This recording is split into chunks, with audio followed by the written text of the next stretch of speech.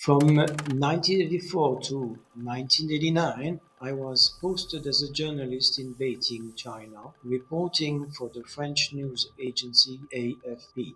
Since then, I have focused my work on China because from the very beginning I was convinced that China would remain a major threat for the world. China, the biggest threat.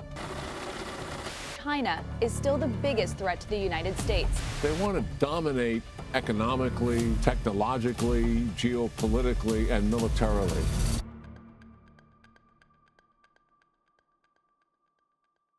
That proved to be true.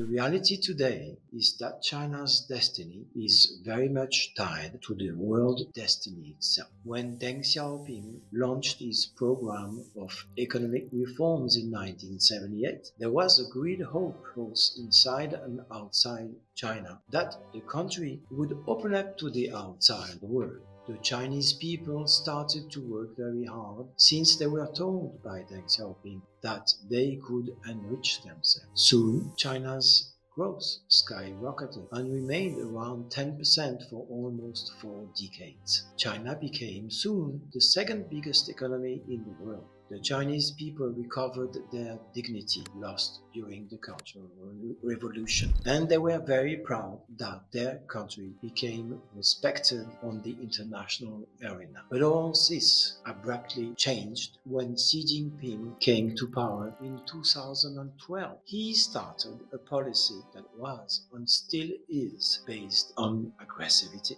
China became very aggressive towards all democratic countries, especially the United States. His hidden ambition is to conquer the world. He directed his threats towards China's neighbors, especially Taiwan. His policy is based on intimidation, coercion, and threats. His goal is to terrorize so that neighboring countries would accept without any condition all demands dictated by China. But he committed some serious mistakes. Among them is Hong Kong. When Hong Kong people, especially the young young generation started to demonstrate on the streets against the rising influence of the Chinese Communist Party on their daily life.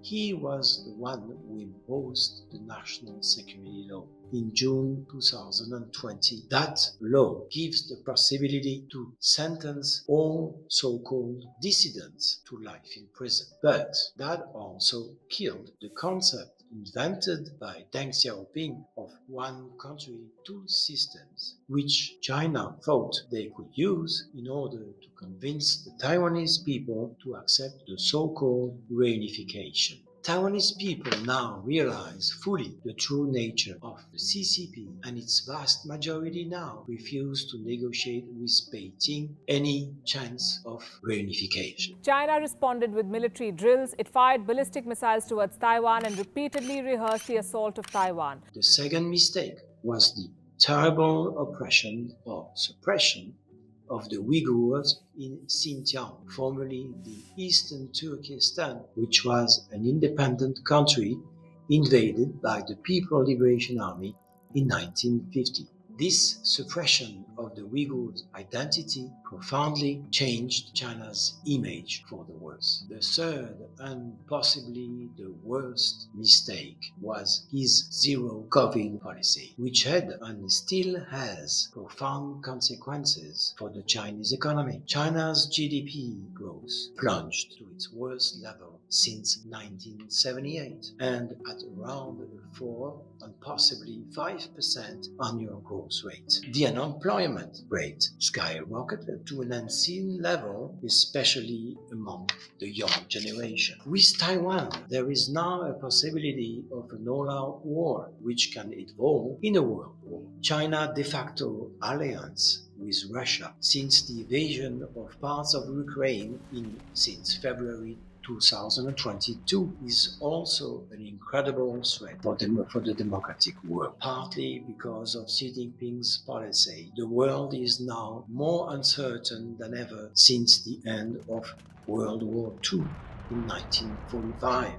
So the question is, how to stop China. This is basically what my book, China the Super Predator, is talking about. I believe that freedom and democracy can and will prevail on the condition that all democratic countries abandon their naive conception of China and realize that they must unite to be together to face China and its dictator Xi Jinping. They must say no to Xi Jinping.